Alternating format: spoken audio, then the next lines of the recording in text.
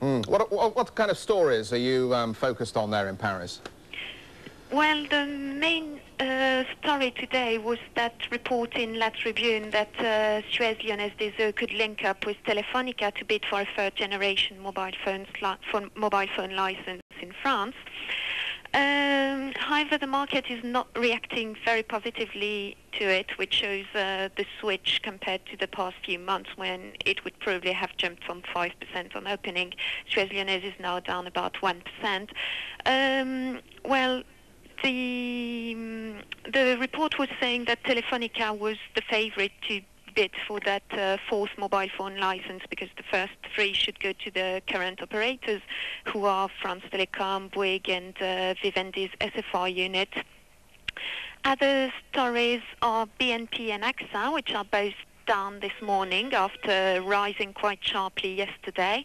Uh, that was about 9% for AXA, 8% for BNP. There were some uh, rumors in Paris that AXA could buy BNP. However, analysts are still a bit doubtful. They say that it's true that BNP is a cheap buy. However, AXA already has to digest a merger because it's still in the process of integrating the UK's Guardian Royal Exchange. And also in Japan, it, is, it has taken over Nippon Dantai.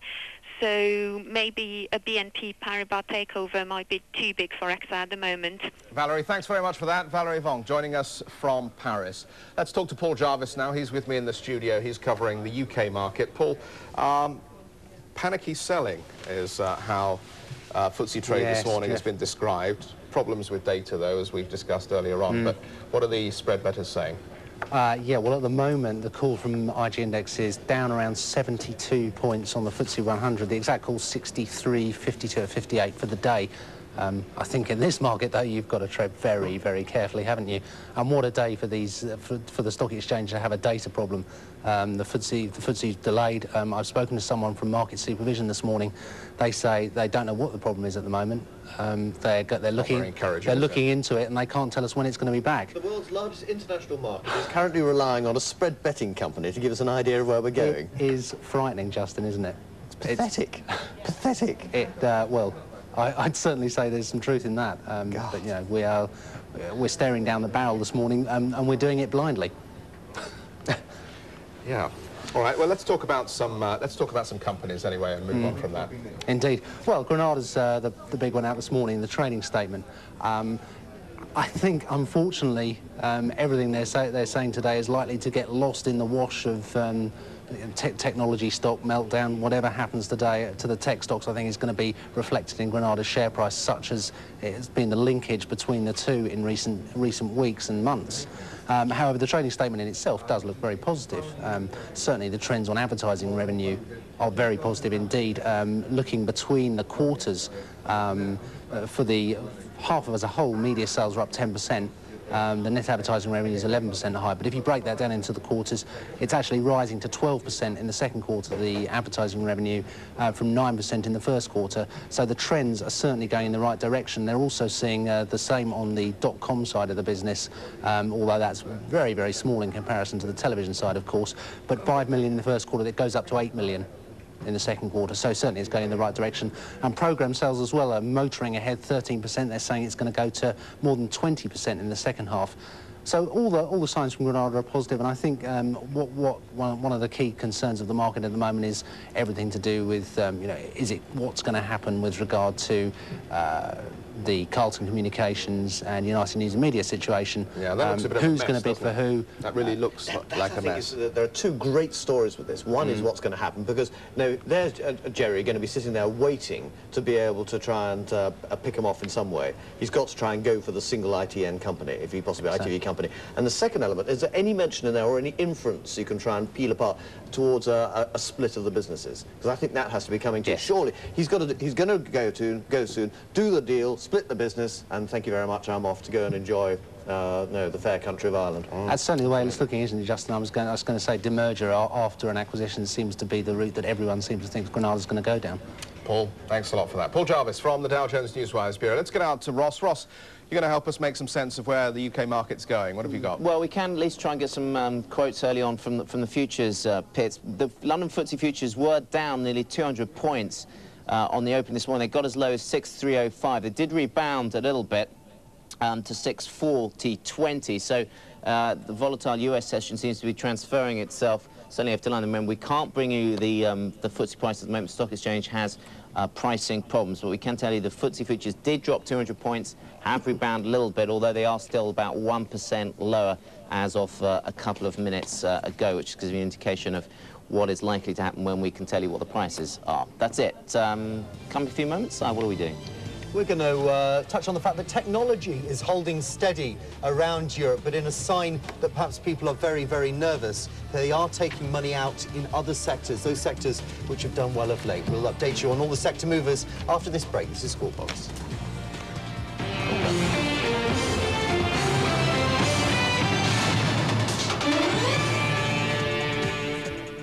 CNBC, first in business worldwide.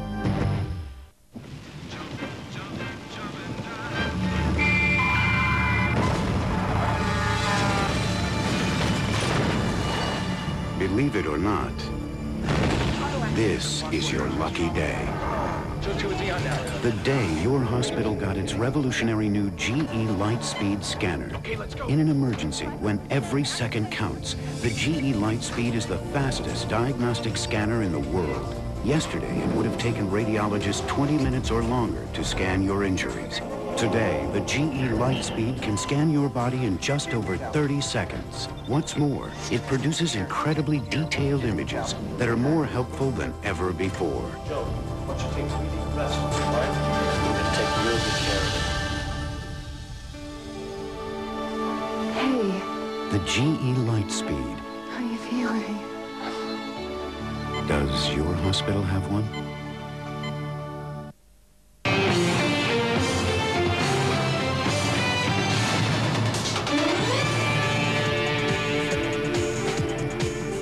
There are two forces on the technology stocks around Europe today that are obviously both come from the United States. On the one hand, there's the factor that actually the Dow Jones technology, uh, or the NASDAQ, I beg your pardon, actually closed in less of negative territory than we saw it down when we closed in Europe yesterday. So that's positive.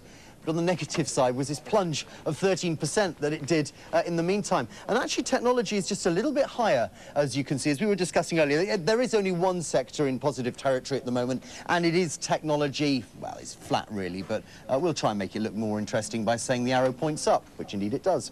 Uh, the losing stocks are, generally those that have done quite well out of the, uh, the out of the, the, the switch from new economy to old economy, energy, chemicals, pharmaceuticals, insurance. So a bit of profit taking, which would suggest to me, and I am not talking to people at this stage because it's our birthday, I'm just looking at the figures, but it would suggest to me that actually the nervousness has meant that people are taking some of their money out. They're saying, okay, time to take a step back away from these markets. It's just a little bit too volatile for me. The energy sector, as you can see, uh, these are the main movers on that. Uh, Repsol, Total Fina, which obviously has had a good run of it. Uh, Royal Dutch also down. Uh, let's have a look at some of the chemical losers, and that's topped by Air Liquide. Akzo Nobel over in the Netherlands also falls by just a smidge. And the media sector, well, TMTs, Technology, Media, Telecoms, uh, or something else as I once uh, called it recently.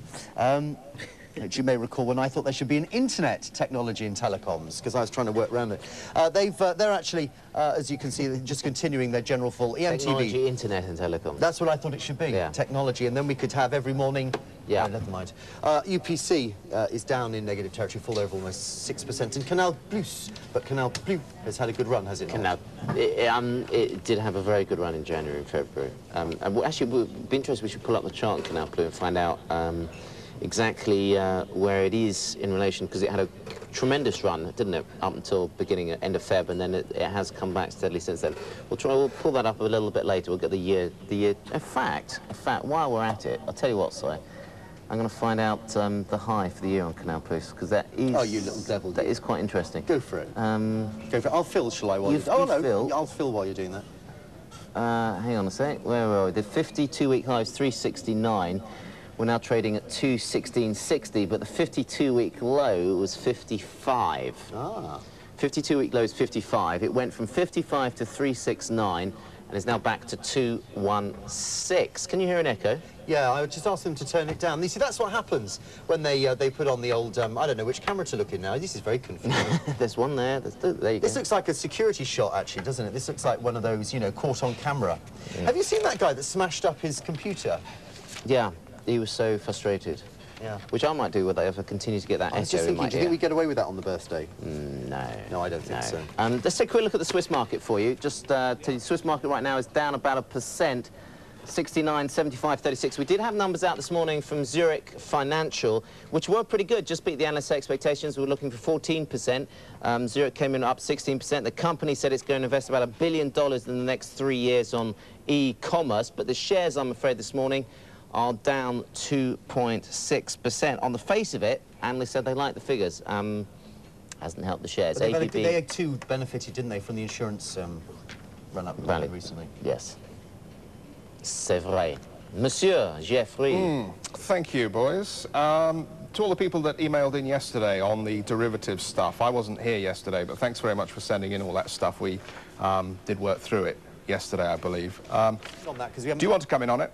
Uh, they, uh, you, if you listen very carefully to what the guest host said yesterday, it did actually make sense. Even uh, one of our vice presidents here went through the script of it and said, yeah, it, it does make sense. He's, you, you had to listen quite, quite hard because he messed it up and then started again. But it did ultimately, Jeff, I am assured, check out. Yeah, uh, Simon, I just wanted to note it just because a lot of people wrote in. And to the person, um, uh, uh, Mr. Uh, Witkowski in uh, Warsaw, uh, my apologies that Warsaw isn't on our weather map, but um, if you could send us in the weather, we've got 35 minutes. Tell us what it's like outside. Have a look outside the window and we'll uh, address that for you.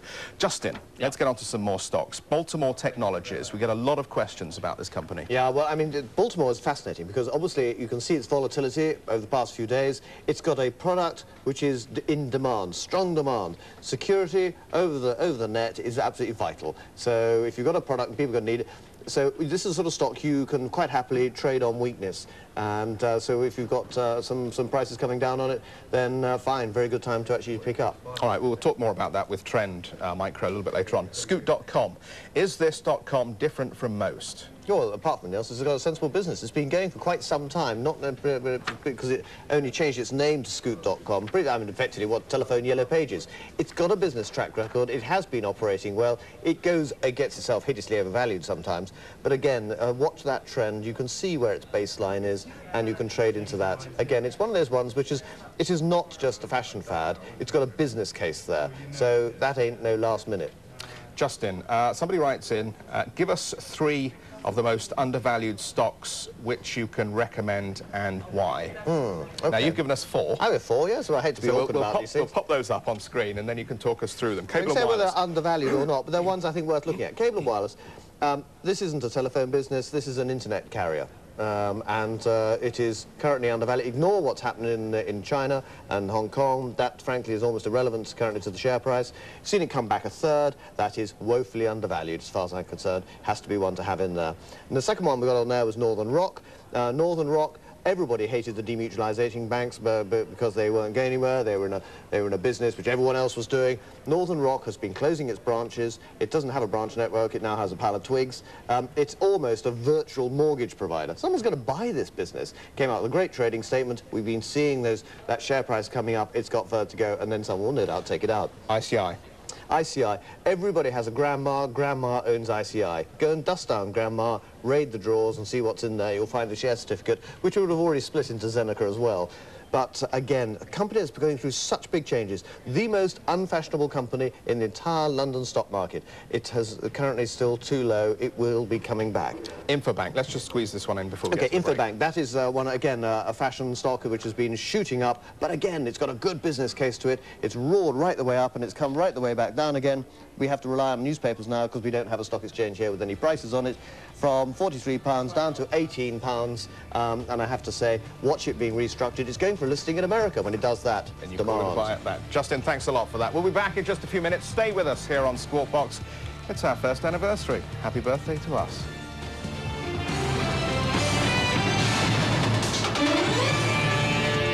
Television is changing. A new type of viewer has emerged. New principles, new needs, new demands. It's an audience that no longer watches TV. They use it. They want information. Not just news, but data. 50-50 joint venture. Opinion. Clearly down to economic demand. Analysis. The line is going down, it's not going up. Real time. Big one is coming through from Los Angeles. Real numbers. It's not just currencies. Real events. This is a breaking story. When seconds mean millions, finding out first means money. The only service for the new Europe. It's global, immediate, accessible. CNBC. First in business television worldwide. No matter where you are, no matter what the time, when the market's open, CNBC is there at 1900 US Power Lunch. Big picture. Some more insight. That's a winning proposition. At 2000 US Street Signs. The stock market has been in rally mode. Wealth is the name of the game. At 2200 US Market Wrap. Here's how the market's reacted. We have some late breaking news. I'm going to go down to the New York Stock Exchange. CNBC. First in business television worldwide. No matter where you are, no matter what the time, when the market's open, CNBC is there at 1900 US Power Lunch. Big picture. Some more insight. That's a winning proposition. At 2000 US Street Signs. The stock market has been in rally mode. Wealth is the name of the game. At 2200 US Market Wrap. Here's how the market's reacted. We have some late breaking news. I'm going to go down to the New York Stock Exchange. CNBC. First in business television worldwide. I got the line. Jackson. Maybe 40. Colette. There's no way she could have known. De La Hoya. Definitely one of these. True story. I wanted to be Rocky. I really don't like the, the Porsche that much. I came right here on the airplane and stuff. Leno. Conan. Hey, hey! The CNBC Comedy Block every Saturday and Sunday, part of the CNBC Weekend.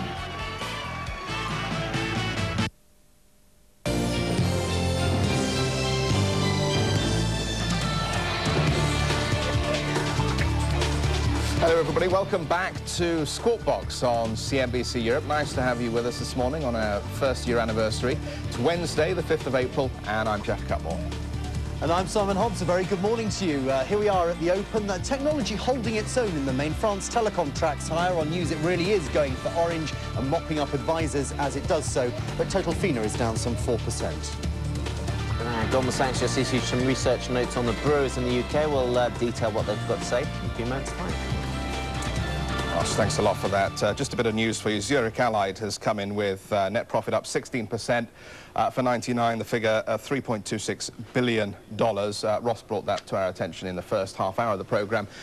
Just in case you're only just joining us, I thought I'd better tell you it again. US stocks on a roller coaster ride overnight in the wake of that Microsoft ruling. The Nasdaq dropping almost 600 points before recovering. Earlier on Squawk Box, Crispin Cripwell, a specialist in US tech stocks at Morley Fund Management, pointed out that it really was panic selling, but he maintains that it's exactly what we need to see uh, as far as the tech market is concerned going forward, and he's upbeat about some tech stocks.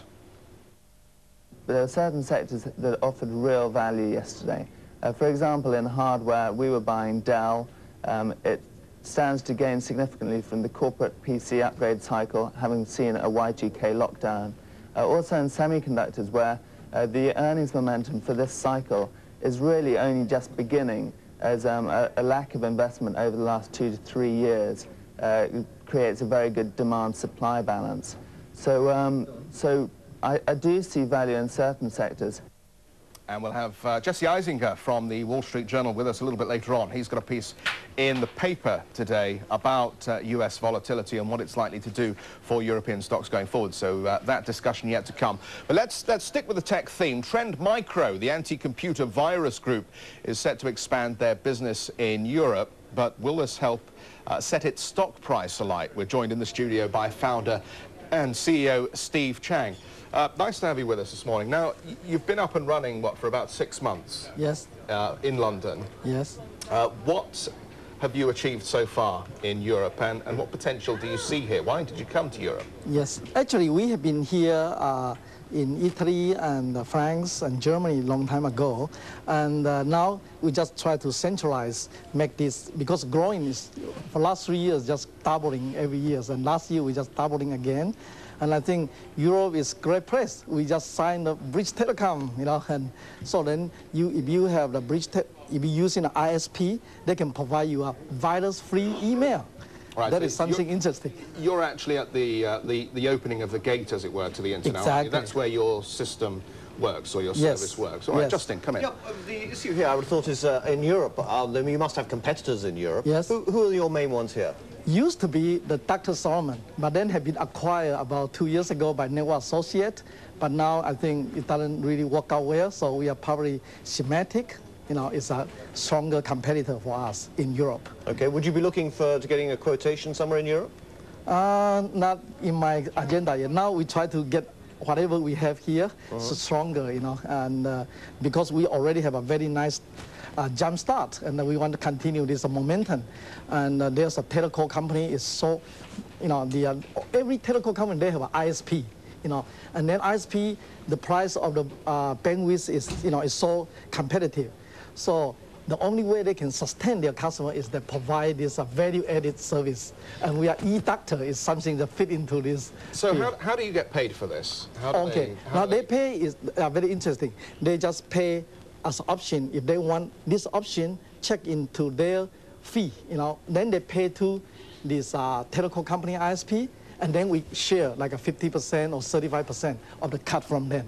So we get the money from the telecom. And, yeah. is that a repeat fee? Oh yes, a monthly. They just pay you monthly recurrent fee, and it's it's the new business model. And for is there a lock-in for that Uh, not- arrangement, or can they leave and take up a competitor's system at any time they choose? Yes, yes. There, there's no lock in here. The the advantage for us, our competitor, is not get into that area yet because yeah. But the big issue with, uh, with virus protection Yes. surely has to be your industry trying to keep up with the latest virus. I mean, are you not always running behind the, right. the hackers? Right. Yeah, it's it's the nature of this business. I mean, normally every year they have somebody come up with some like a malicious virus. is a very sort of creative way to in, uh, infection. Then we have to behind it. But after that, we uh, once we get this kind of uh, virus, then all the variants we can catch it because that we we we are, have technology simulate their behavior, so we can catch all of them. So we always one step behind, but then later on we catch up.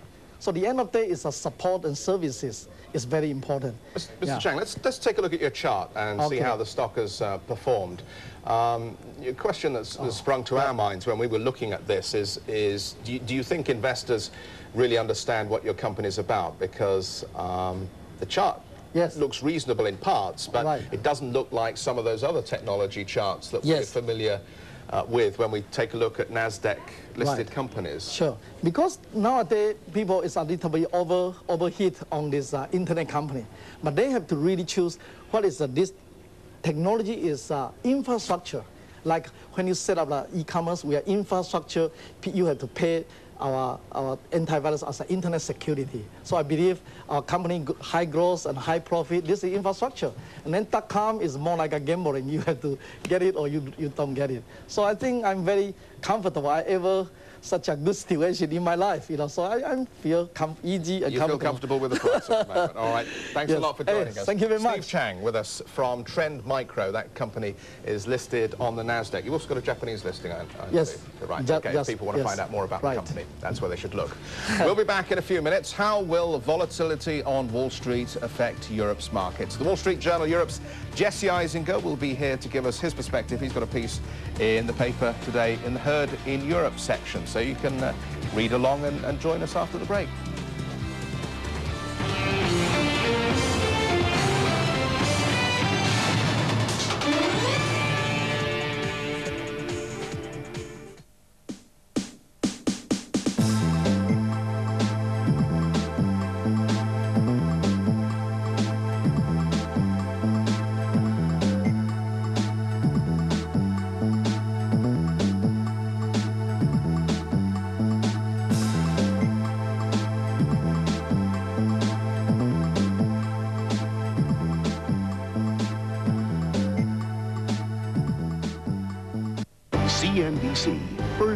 Business worldwide. in many countries, on many projects, with many communities. Chevron has made a commitment to be a global energy partner that keeps its promises, that keeps its word. Chevron, the symbol of partnership.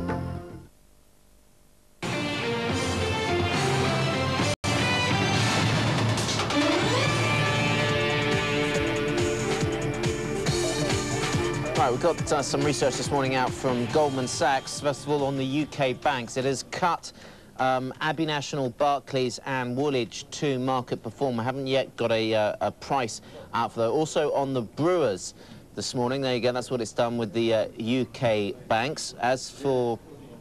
Didn't have enough time to spell Woolwich correctly. Apologise for that. Woolwich.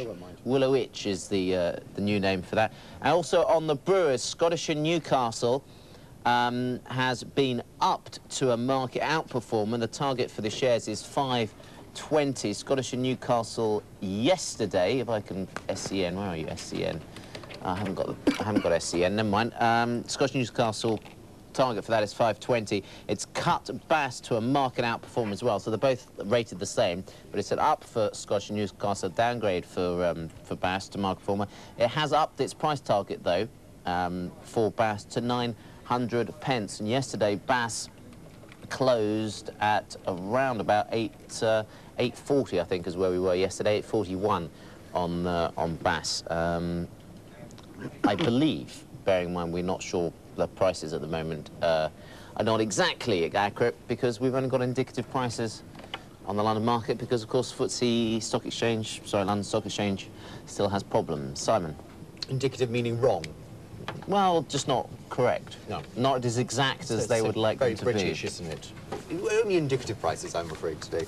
Uh, technology, you know, I, I, said it might do well today because uh, we actually had the Nasdaq cut, and they are. The technology index overall, the stocks index, is in positive territory, a rise there of a half of 1%. So effectively negating that that 13% dip and uh, and retraction that we had up on the Nasdaq yesterday, which is uh, really very, very interesting uh, going forward. On, on, the subject of individual stocks, uh, of course, we had the uh, biggest internet flotation yesterday of iNet.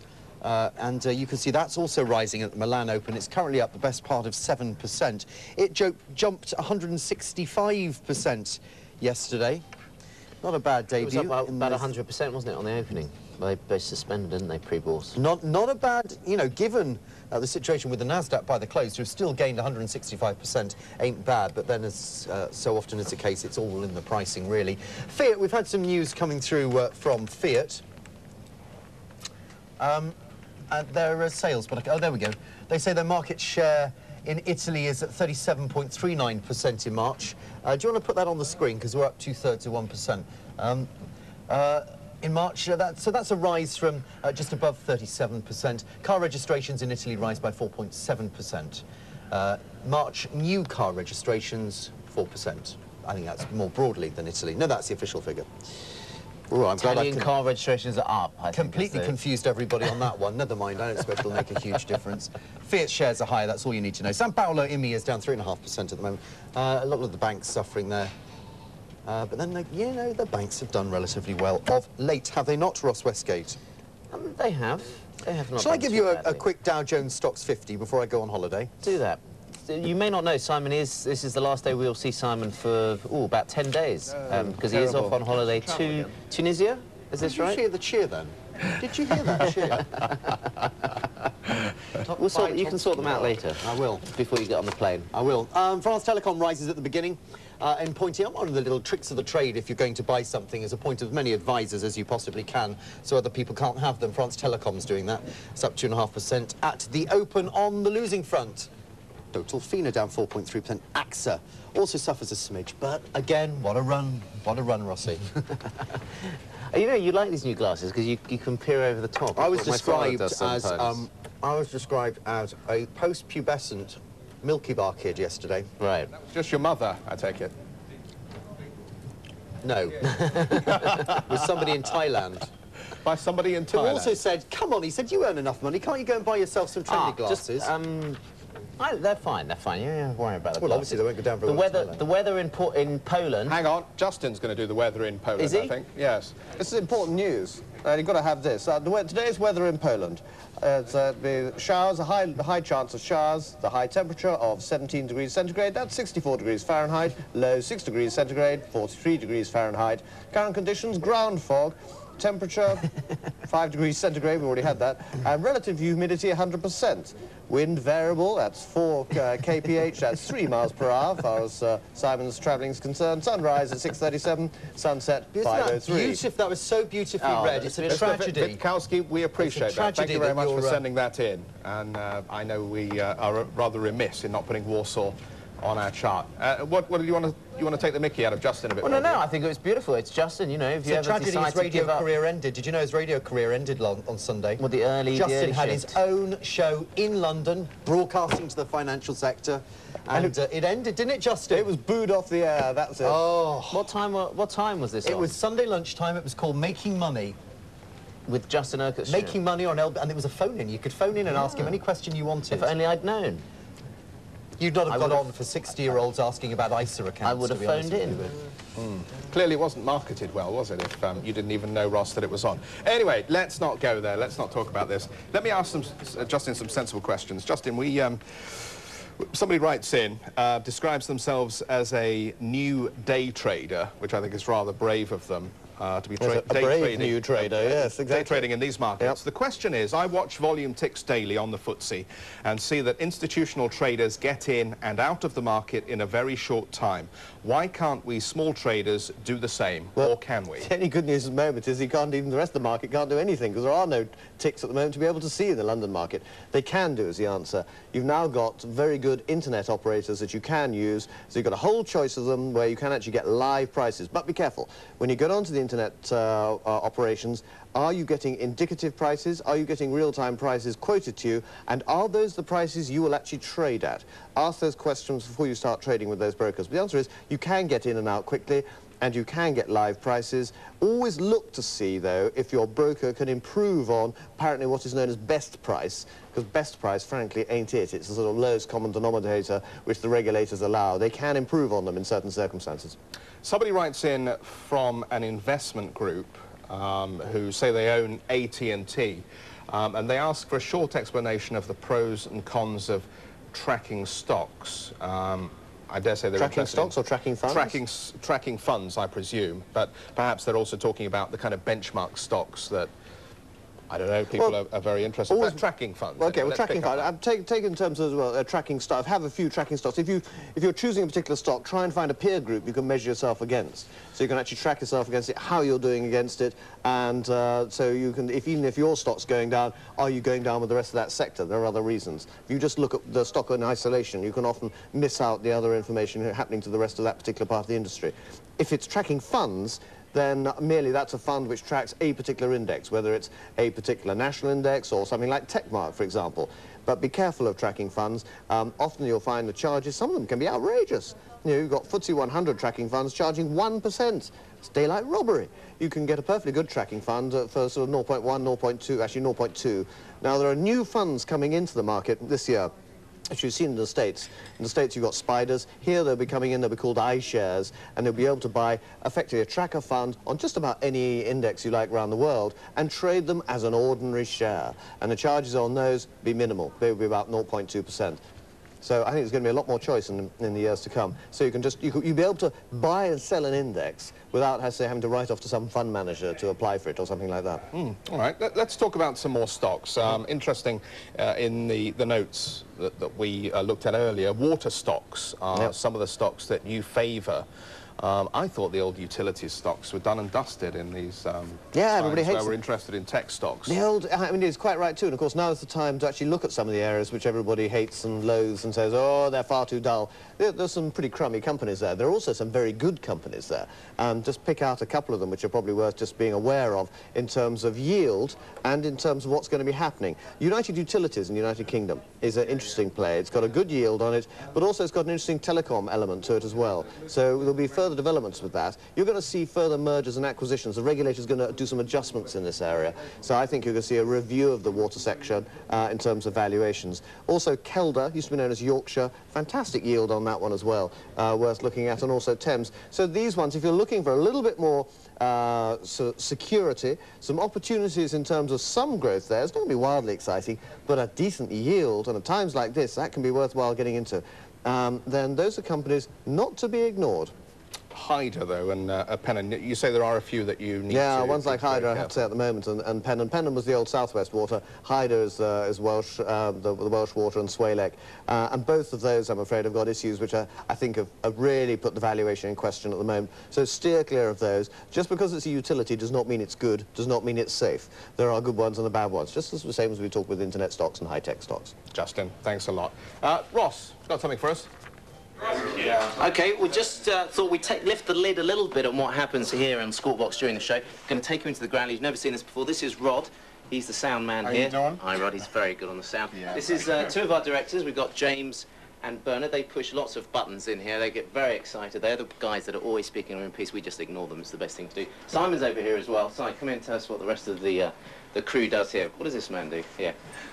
We don't well, ask him. What do you do? ask him. What do you do, son? I put the wrong graphics on the screen. Right, he's he's responsible for putting the wrong graphics. On the back here is our producer, Don Spain. Don, say something.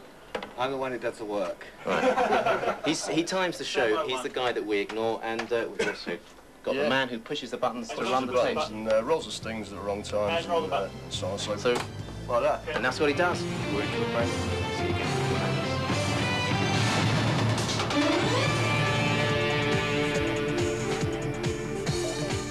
A comprehensive package. A widespread party on the streets. Analysis. Debate is back. We're business news. A people power rally. And significant events of the day. And Allan Chernoff, who broke the story, joins us now. The mob is infiltrating Wall Street. U.S. Market Wrap. Every weekday at 2200 CET on CNBC. Promise you'll call me. I will. I promise. No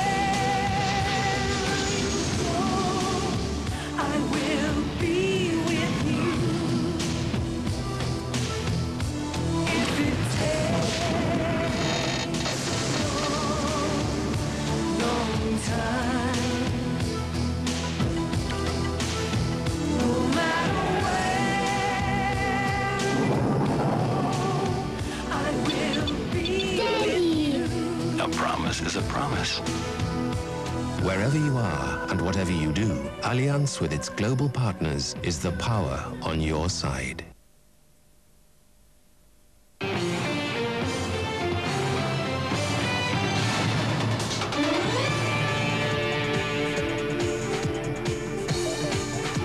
Hello, everybody. Welcome back. This is Squawk Box on CNBC. Now, Justin Urquhart Stewart is our guest host this morning from Barclays Stockbrokers. Justin, before we get to the end of the programme, let, us deal with the issue of interest rates in the UK. Yeah. Um, I think we need to talk about that.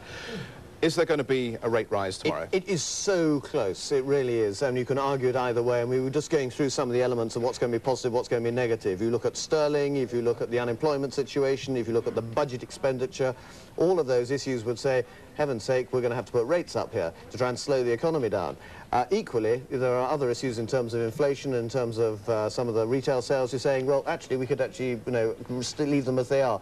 And funny enough, if you actually take the nervousness in the market now, blowing the froth off the high techs could actually mean that it actually prevent people being quite so exuberant in their expenditure. After all, if you're worth 20% na now than you were, say, a month ago, then you're going to be less inclined to go out and actually be party popping quite so much. So I think there's a good chance they may leave it for the moment, but I think you're going to see a, we'll see a rate rise coming up in the month after. I think we'll peak, I've seen some figures, people see going up to 8.5%, 9%. That's hogwash. I think we'll peak at 6.5%.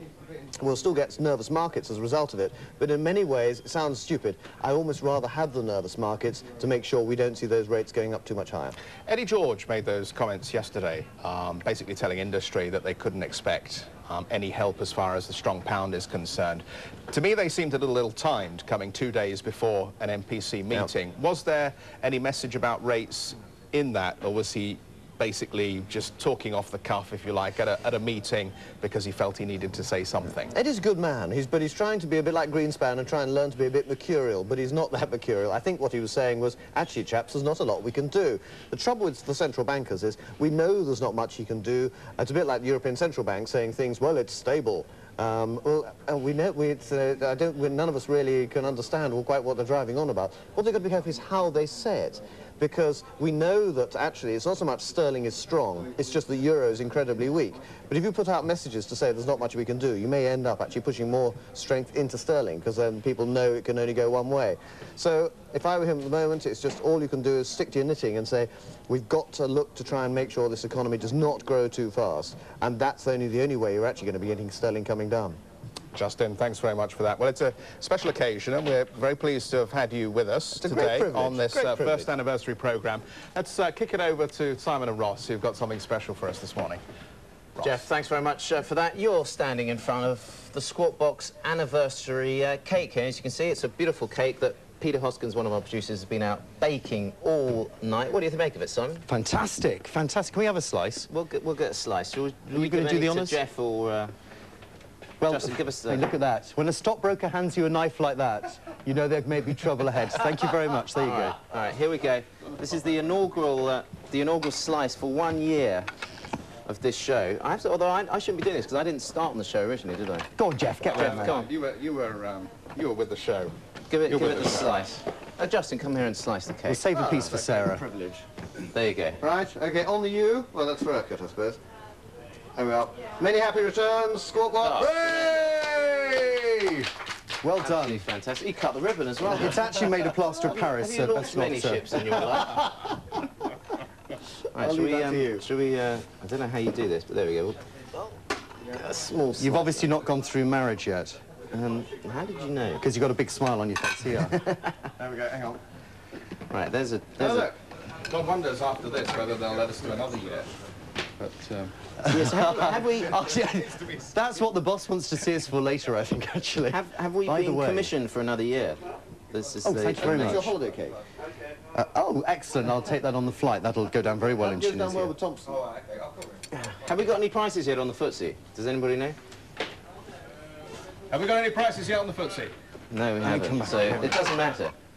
Right, there we go. Justin, There we go. is that big enough chunk for you? That's a hell of a slice. Well done. It's a slab. It's a slab. You, you, there you go. Back up the lab. Where are they going? There's, there's plenty to go. Plenty to go around. Let's try this. Let's try the official tasting. Do you want some of these? Peter, thank you very much. Happy birthday. Hint of raisins, a little bit of, um, there's a little bit of sort of rum, some sort of alcohol mixed in there. Hmm. Of course, anybody tuning in now is thinking, what are these four guys stood around eating cake for on the programme? Anyway, tomorrow's cooking programme. Live demonstrations. I, I, think I need a drink to wash it down with as well. You know, drink to wash it down with. Ah, but we don't have any glasses. That could be a problem. No. it's, it's absolutely tremendous. Here's the champagne. Until I have a glass, I'm not going to open it, because it would be just a waste. I don't know. I feel an early break is coming on. It's very due to this. Simon, you're unusually quiet. I know, it's because I can't hear what the director's saying, and I'm thinking, if I start talking, we're going to smack into ads. Do you, so- want to go and get a couple of glasses? Ah, fantastic. Well it's done. chaos. It's chaos.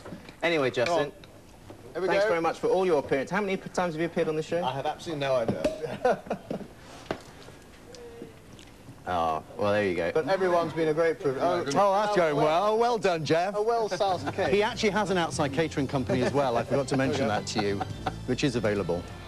Right, well, that's it from this edition of Squawk Box from us, the gang here, Geoff, Simon, Justin. Happy birthday. Happy birthday. Um, have a good trading day. And we'll see you all again tomorrow. Thanks, for staying with us. Yeah, bye. Cheers.